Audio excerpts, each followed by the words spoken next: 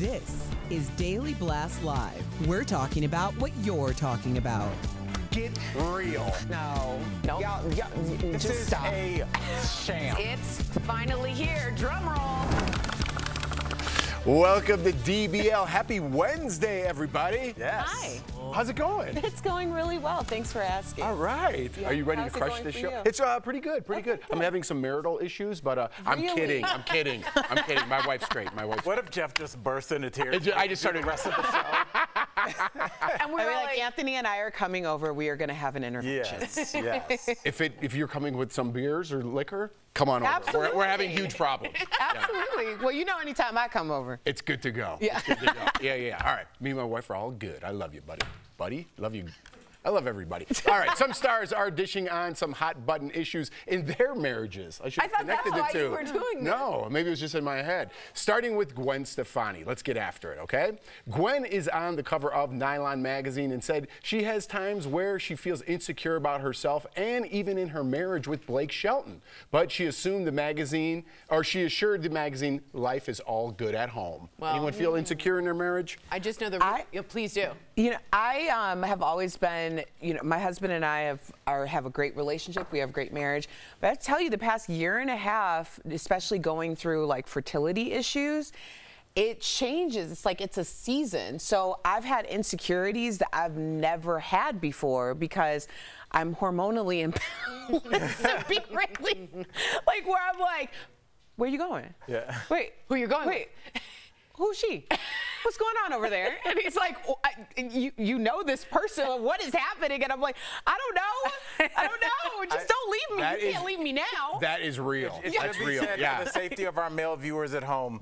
Your wife can say that she's hormonally imbalanced. You cannot. Yeah. Especially Thank during you. yes. I'm just letting Exactly. everybody Thank know. you, Yeah. Al. Yeah. Thank you, Al. Did But you it wanna is, add- it's a real It's thing. a r- very real thing. Yes. Very real thing. I was like, why do I care? I care. I really care. Oh my! And I see it too me. sometimes in other women that maybe just give birth or are going through things, and I'm like, Yeah. oh, she just gave birth. Like, Yeah. you better back off. You know what I mean? Like, let her go through her thing. Actor Oliver Hudson revealed he cheated on his wife after they got engaged. On his podcast, Oliver said he was unfaithful to his wife before they got married back in 2006. Let's have a listen. when I got engaged, something happened psychologically and I spiraled and I was unfaithful and I was cheating and I was crazy. I never got caught. I told her everything because I couldn't live yeah. with myself and Yeah. you know, get married and be married and have children with this sort of weight. You agree with Magnum PI, Al? Uh, yeah. Tori, your take? Do you want me to pass? yeah. I, I, I can. Uh, I want to hear from you. I just don't. I don't know if. I If you got past that, I don't know if you need to burden your partner with that if you're not going to repeat the behavior. I don't want to live a lie. I don't want to be living a lie. It's just more important for me to, for all the cards to be on the table. I don't need there to be secrets and nooks and crannies of that amount. I would rather know and have the uh, agency and also the respect that that person gives me to make my decision. But man, I would be m- way more heartbroken to learn 10 years down the line, hey, I never told you this is What, what, what, what do you? How do you react if Brooks does the exact same thing to you? Tells you after the engagement he cheated, he's over it. How do you? Can you move forward? That's why it has, it's so hard. I don't know, but you know what? I would rather that karmic seed of me and Brooks, I'd rather have that truth be known than living a false marriage. That would mm. burn me up inside. How for about every time you forgot to do something like take out the trash? Like, remember when you slept with that oh woman in 1995? No, because if I forgive, you gotta let go. You gotta move on and not bring it up every time. That's the work That- you gotta Yeah, give. you that can- that's That's a a big lot ask. of work, but It's- that's the kind of work ask. you gotta do. It's easier said than done. I think the biggest thing in his account, and you know, I am sure his testimony will help a lot of people, but this was like a pattern. And it seemed like it was reckless. Yeah. And that's where It becomes right. Like Yeah. I mean, I could almost see, and not that, and not that this is something I'm inviting into my life, but I could almost see like I, I, you know, was having uh, issues or blah blah blah whatever. Something happened one night, but you went out and w- did this over and over and over again because you were going through an episode. Like that just feels a lot different than I like messed up. It seems very intentional. yeah. Either way,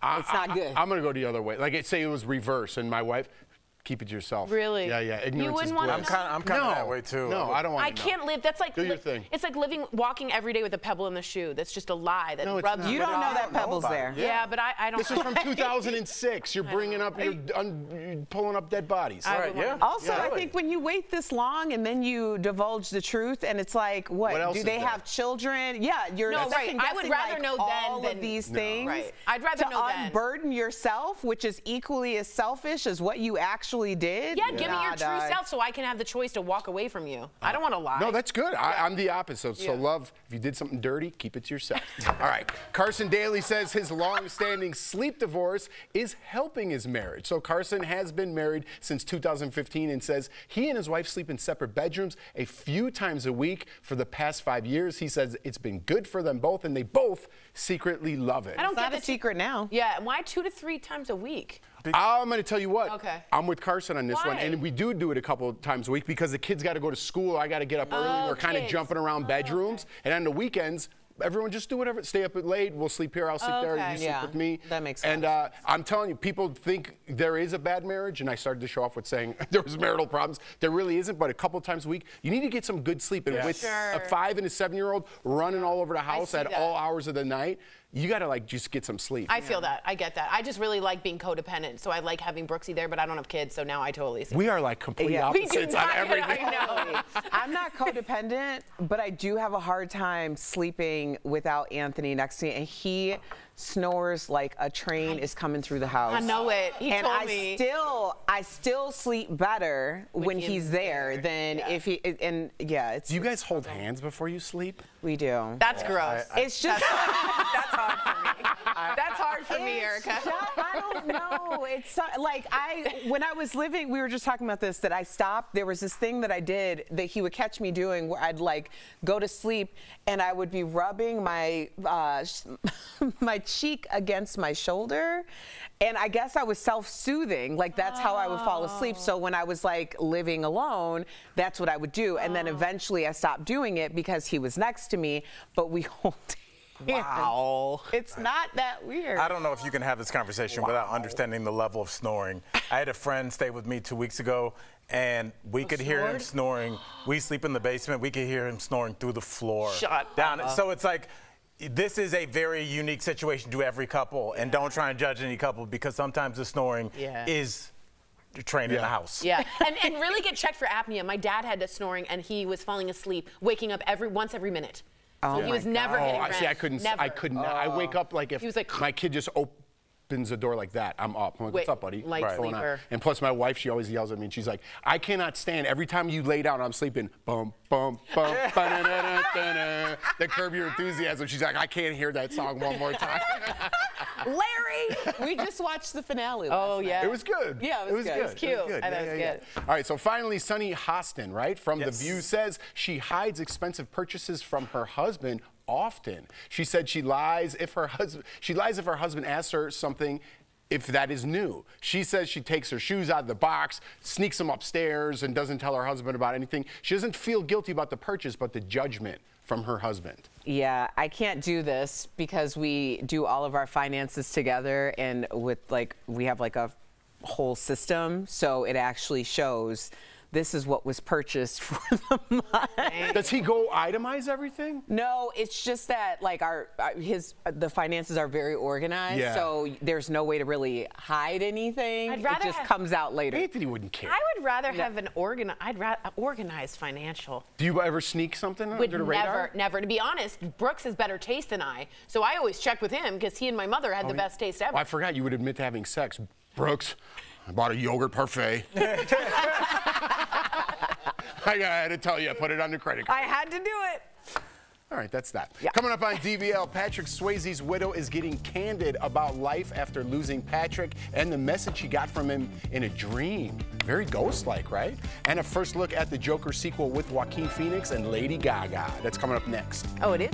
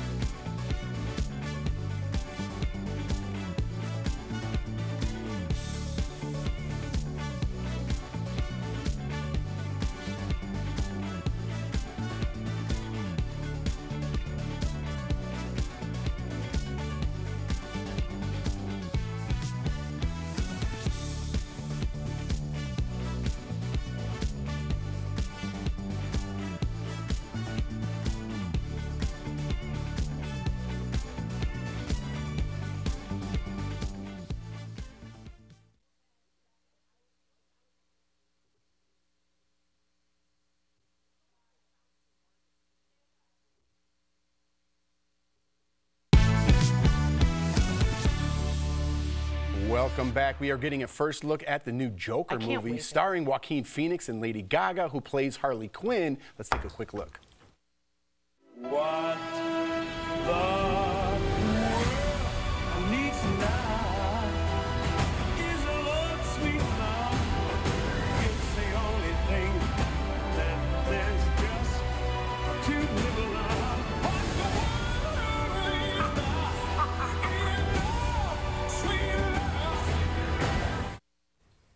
He's good. The movie looks like a musical, right? Then in a little bit? And some people have compared it to movies like La La Land.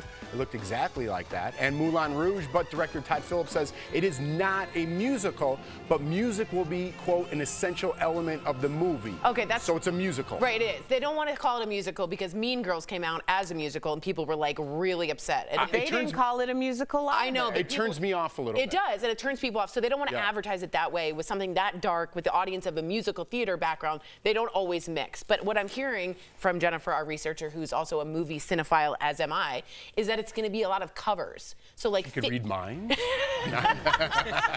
cinephile, uh, like 15 covers, which I think is interesting when you take a pastiche like Baz Luhrmann did in Moulin Rouge. Remember, he did Nirvana. He's like, it was stupid, entertaining. Oh, he does that in all of his movies. And I movies, like that, yeah. right? Right. Like he Yeah, did yeah. Madonna, like I, I, and Roxanne. I do like I that. like that right. mix of the pastiche of a rock and roll song mixed with something psychological in a movie. Todd Phillips, I think, could do this well. I think this could be a big hit. Gaga is a perfect Harley Quinn. I know she and Margot Robbie will be up against each other. I think we have a side by side here. People remember Harley Quinn qu- clearly as Margot Robbie. Gaga has a lot to live up And she there. did reply to this, and she's giving her blessing to Lady Gaga. Because a lot of people are asking why isn't she recurring in Excellent. this role. I think Gaga will be gave her blessing. I think uh, Margot Robbie's someone like you want to be for Halloween, and Lady Gaga's going to be very much more artistic. I agree with Right. you. I- and I- singing wise. I'm excited by this, and it's so interesting that they, they do have to divorce uh, the word musical For from sure. this. Whereas you think about a movie like Goodfellas, and all the songs that are playing are of that era, and you know even when like when they're walking in the first time and they go through the back of the restaurant. The, the music that's playing is almost showing her entering this new world, this underground world, and also falling in love. Like the songs that play The source music are very So important. necessary. Yes. So I, it seems like just from these clips, you're looking at these, these two people uh, dancing and descending into madness. And so these songs are supposed to represent what you're seeing in on screen. So I'm super excited Yeah. about it. I don't care what you call it. It's, it looks artistic and given this interesting backstory to this character that you should just be the Joker. Like I can't wait. No opinion? I, this is, Are you gonna watch I've it? never Just give it to seen- us. I've never seen any of these movies. Yeah. Yes. it- I, I don't watch anything. She doesn't like that's this graphic or harsh. Yeah, I don't like violence mm-hmm. and stuff. I You I should just- not watch this. I like movies like this. Yeah, I I- will not let you watch this. Thank you. You're welcome. I do. I think Joaquin Phoenix is a fantastic actor. He's because he's a And he- little mad. I- There's madness. There. I'm telling you, you're exactly right. I think to be, a, I think anyone can act. I'm being honest with you. When you're great, you got to be a little bit out there. Right. You know what I mean? Yeah. yeah, that's I why you're it. so good, Jeff. Hey, if it puts me in the Joker and I'm out of here, it's all good. Coming up on DBL, Patrick Swayze's widow is opening up about life after losing him. That's next.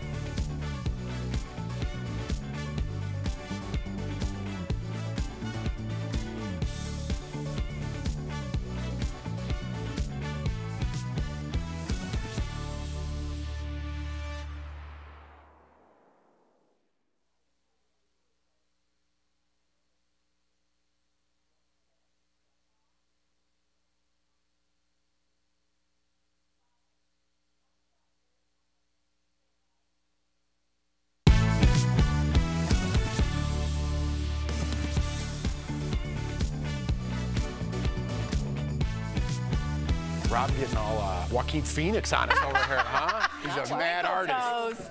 All right, welcome back. Patrick Swayze, Patrick Swayze's widow Lisa says Patrick appeared in one of her dreams. That's beautiful. Lisa and Patrick were married for 34 years before he passed away. Really? They were married for 34 Yes. years? Yes. He died of pancreatic cancer in 2009, if you remember. While on the Amy and TJ podcast, she said she had a dream about Patrick after her current husband proposed to her. Let's listen. First of all, I was elated. He's back, he's back, he's back. I can't marry Ma- Albert now because you're back. And he just looked at me and I and what his words came to me were says, No, I know you love me. He says it has nothing to do with it. He was letting me know it didn't change how we felt about each other. And uh, it was like giving a blessing.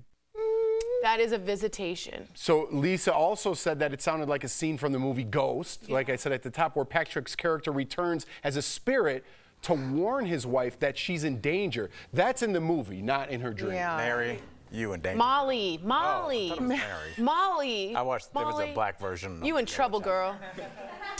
Um, yeah, that's a visita- That's a visitation. Al, first of all, Al said that during the meeting, which is perfectly fine, and then Tori repeated it with Al's accent, which wasn't great. Whoopi Goldberg's accent. Molly, you in danger. You girl. in danger, girl. That's a great line. repeating it's not great. It's a great line. I'm just kidding. Can, can I say something that will be wildly unpopular? It just seems like when people are Al, visited, don't. I'm. It seems like when people are visited Al. from, I'm not, I'm not. I'm just saying, when people, Erica, don't make that Don't, face. Al. It- okay. Just say it. No, I can't. I'm getting two puppy dog eyes from both sides, Al. and I can't look. Don't do it, girl. I won't. You in danger. boy. You're in danger. Yeah, yeah. I messed it up. I messed it up. know when to fold them. That's beautiful. good. I think when you, especially when you're there's a clarity and there's a connection or a path. Like I actually had an encounter with a friend in a dream that like really put me at peace in like a very like significant way. So it's just it, when you're into sometimes, and this is a big time for alignment right now. Yeah, especially a huge time. Look, if you get a second, some people don't dream of their loved ones that have passed. If you get a second, sometimes I see my mom in the background of my dream, Mm. and she's wearing like bright yellow, and I'll just walk past. I'll be like, she was there, and even that is peaceful. So to see him come through, in my mind, is a visitation, letting her know, even if it's her subconscious creating the id of all the synapses of her axioms of nerves coming together. That's enough for me, man. That's enough for me. No, it's important. I think sometimes you ask for things or they're in your mind and you're kind of like on the verge. I remember I had a very important decision to make. And a friend of mine who passed away a few years ago, she came and on, under no uncertain terms was she and she told me this is not the move, do not. Yeah, it." she Like, can. It's a guide. Yeah. they're guides on your journey, like a video game. Yeah, and I, it's beautiful because I know you know everyone knows what you Even the went through. video game part? No, but it's uh, it, it is be- because when people like question your religion or spirituality, whatever it is, whatever you believe in, if it helps you along Yeah. the way, and you Yeah. feel like that's a sign Right. from something else, and someone else knocks it like that's not true. It's like. Let why me- can you why let, it why, just be happy? Yeah. If it helps you along your How is journey, How is it hurting you? Right. How is it hurting you to make me feel like she's there? Right. She's there. I just want to see her, even a glimpse, and I'm better. Just give me a glimpse. Oh man, see what you great. did, Al? I didn't Me even say cry anything. now. I, I'm glad I didn't say anything. All right, we're all crying now. We'll be right back.